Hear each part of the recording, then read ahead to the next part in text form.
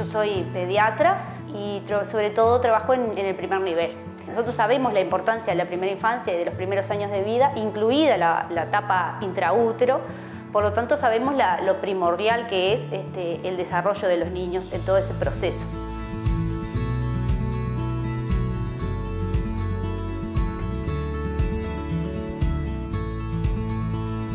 Es importante vigilar el desarrollo de los niños menores de 5 años porque nosotros sabemos que nos permite una intervención oportuna de ese niño, poder mejorar el pronóstico de ese niño a largo plazo.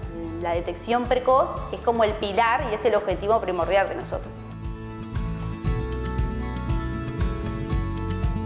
Hoy UNICEF ha acompañado esta implementación a través de la donación de materiales que van a permitir a los profesionales de poder aplicar esta guía, va a permitir poder hacer el seguimiento y la atención de todos los niños y niñas del país, especialmente aquellos más vulnerables.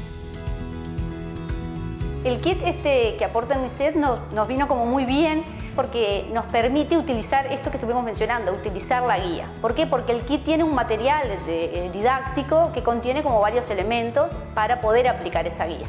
Contiene, por ejemplo, un sonajero que nos permite valorar la audición del niño, la aprehensión del niño.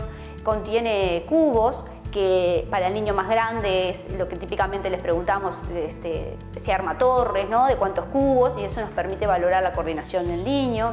Tiene un espejo que tiene que ver con la, con la reacción del niño, una pelotita con un, con un hilo que es como para el seguimiento ocular del niño.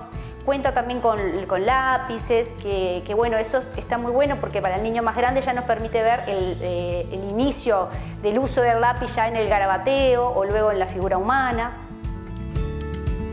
Y la familia juega un rol fundamental. Este, imagínense que, la importancia de los papás está en que se ha visto que en un 60% de las alteraciones del desarrollo la inquietud surge de los papás.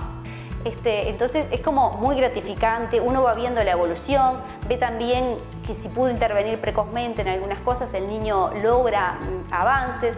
Entonces todo ese proceso de continuidad me parece que le da como a uno esa, satisfacción del trabajo que está haciendo.